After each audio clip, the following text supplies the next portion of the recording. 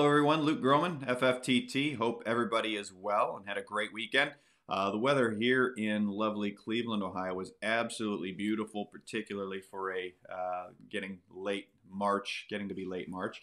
Uh, I was outside a bit today, so got a little vitamin D on the uh, on the old head here. So hope everybody's well. We're going to jump right into it here. A few questions here. First one is from Max. Uh, touch on Basel III changes to gold holdings scheduled for June.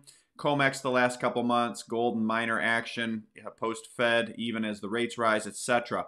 Uh, the so the, the there's a Basel III net stable funding ratio, uh, NSFR for short, uh, is apparently it's, it's part of Basel III. It's apparently was scheduled to go live June 28th, 2021, globally.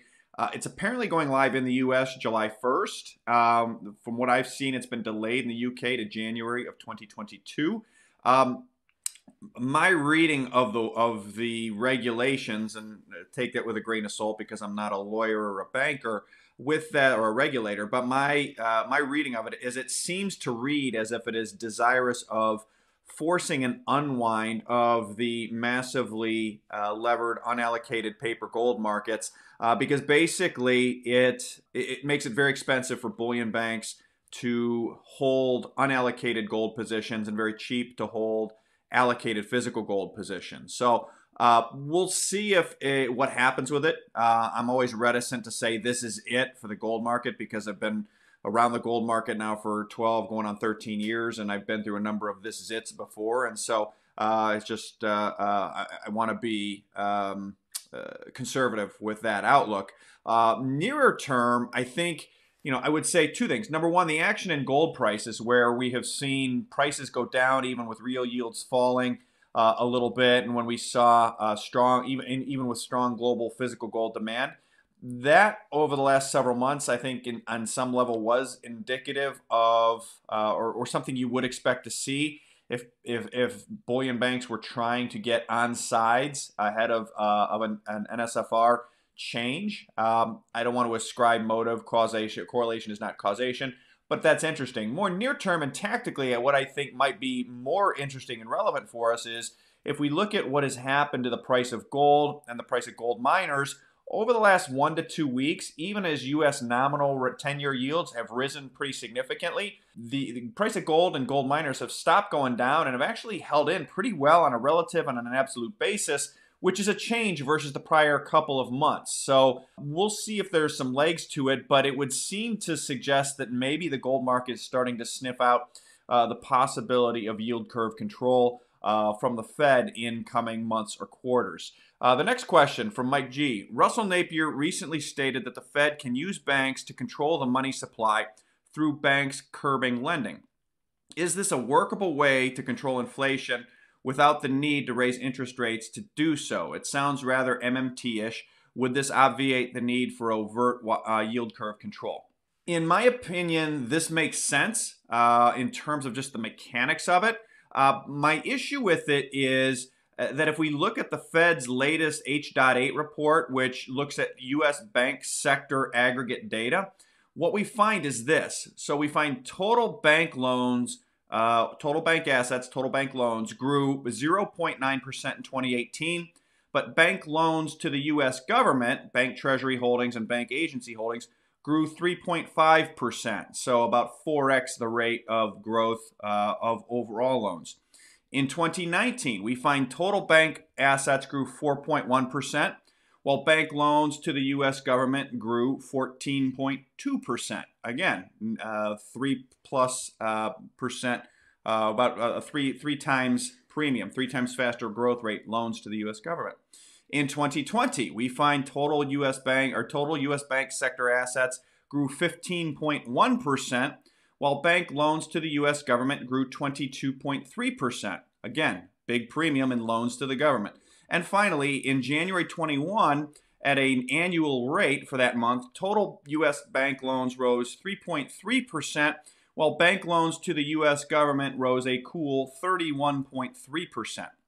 And so here's my point in all this. And I, I agree with the mechanics of what the always brilliant Russell Napier says. He's, he's absolutely brilliant. Um, and, and uh, when I've been exposed to his work, I, I love his thought process. With that said, if we if we look at the reality of what's happening here in the U.S., the U.S. government is over 20% of GDP, and bank loans to that sector of GDP, that 20% of GDP, are growing at a massive premium to total bank loans.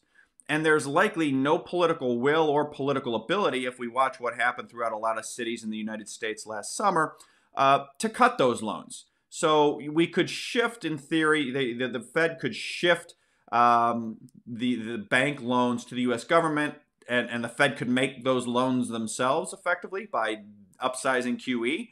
Uh, but ultimately, uh, in the end, it points to a U.S. economy where the Fed is losing its ability to control the money supply, unless it is willing uh, to to effectively choke off loans to the private sector to offset the growth in loans to the U.S. government sector. But in theory, they could do that. But if they do that, that just cedes more control of total U.S. money supply to the U.S. government even faster than it's already happening. So, uh, and, and, we know, or we, we, we think we know, I think it's highly likely that the U.S. government is likely going to just keep spending more and more money, given the obligations they have, given the, the great power competition with China, where defense spending look like it looks like it's going to ramp up, etc. So uh, that to me, I think is is the issue with that, where with basically, and Russell Napier, I believe, has said something to this extent where basically you're starting to see this fiscal dominance where the government is basically gaining control of money supplies. What I just delineated is exactly that is the government is gaining control of money supplies and there are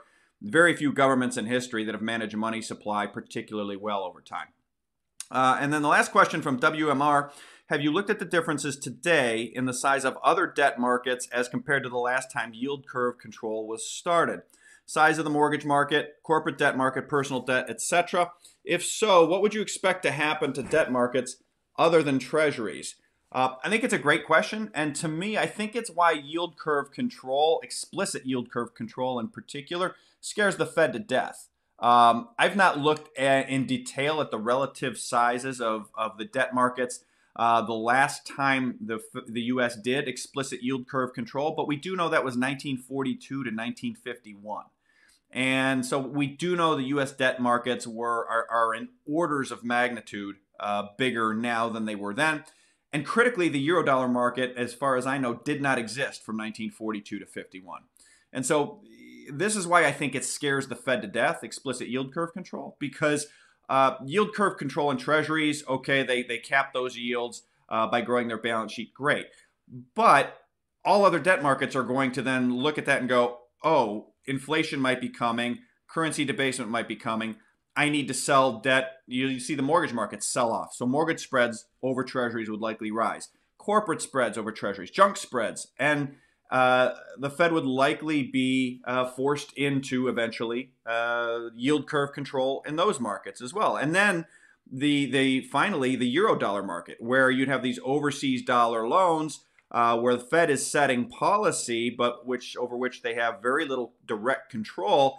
Uh, you'd expect to see eurodollar market uh, debt, debt market loans also uh, rise uh, in terms of the spreads. So yields rise, and then the question becomes if that creates crises elsewhere. Uh, ultimately, you know that could create a stronger dollar short term, but ultimately, as we saw last year, it's all the Fed's problem when push comes to shove. So to me, it all boils down to when you say, okay, when you ask the question of how big are the debt markets now versus where they were the last time the, the U.S. did explicit yield curve control, they're way bigger. And the conclusion is this. Uh, you could see the Fed's balance sheet rise non-linearly in a very compressed period of time. If this process is is managed poorly or if it just sort of gets away from them, and, and, and it, it might happen even if it's managed well and it doesn't get away from them. So uh, to me, uh, it, it, continues to suggest uh, you know the allocations we've long discussed: gold, Bitcoin, gold miners, industrial equities, uh, uh, tech equities, things like that. Okay, last question. I, I, I we're going to do one more here from Jerry. your opinion on the status of the Turkish currency, what it means for the people of Turkey. In terms of the currency going forward, price action, I have no opinion. Uh, what we're seeing happen tonight in FX markets to the uh, to the uh, uh, the Turkish lira uh, makes sense. It is selling off sharply, given what Erdogan did, which was to apparently uh, fire the central banker that was was raising rates to defend the currency. And I think it is an important lesson here. The problem of a central banker raising rates to defend the currency, um, but the actions of that slowing down the economy and creating domestic political problems for the domestic political class uh, is a timeless problem and it's rearing its head again. And critically, Turkey is not the only nation facing this problem. There are many sovereigns in the same boat. Uh, in terms of the outcomes for the Turkish people, uh, it's likely to drive higher inflation, potentially much higher inflation, and so that's probably, uh, uh unfortunately, not a great outcome for the Turkish people. So uh, I would also say let's see if it drives any contagion elsewhere. Um, uh, you know, it is a it is a a big move in a currency market, and these are all these currency markets are all quite interrelated over time. I don't know how big uh, the, the, the, Turkish, uh, uh, the, the, the, lira market is relative to others. So we'll see. We will should start to see that uh, go, but it's just something always to pay attention. So with that, I'm going to finish up for the night. I hope everybody has a great week. As always, if you're interested in learning more about what we're up to, check us out at fftt-llc.com. And if you like these updates, check us out. Check out our Tree Rings product. Uh, 10 most interesting things every week. Quick synopsis getting great feedback on it. So thanks again, everybody, for joining me. I hope you have a great week. Stay safe out there. We'll talk with you soon. Take care, everybody.